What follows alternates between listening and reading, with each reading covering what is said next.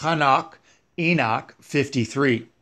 There my eyes beheld a deep valley, and wide was its entrance. All who dwell on land, and rather on land, on the sea, and in islands, shall bring to it gifts, presents, and offerings. Yet that deep valley shall not be full. Their hands shall commit iniquity whatsoever they produce by labor. The sinners shall devour with crime. But they shall perish from the face of Yahweh Sabaoth, and from the face of his earth. They shall stand up and shall perish forever and ever.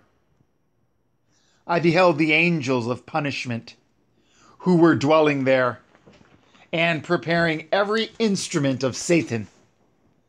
Then I inquired of the angel of peace, who proceeded with me, for whom those instruments were preparing. He said, These they are preparing for the kings and powerful ones of the earth, that thus they may perish. After which the righteous and chosen house of his assembly shall appear and thenceforward unchangeable, in the name of Yahuwah Sabaoth.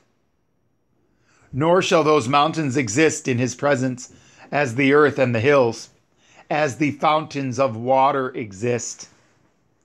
And the righteous shall be relieved from the vexation of sinners.